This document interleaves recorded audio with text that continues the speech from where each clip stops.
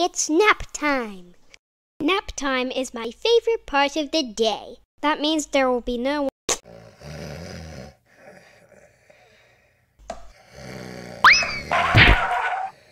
You. Is he fast asleep? Definitely asleep. That means I will be able to steal his food.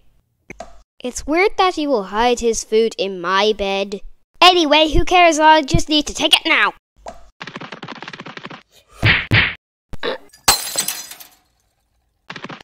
Hospital! A painting crushed my cat. Okay, Mr. Kyle, your cat seems to be fine.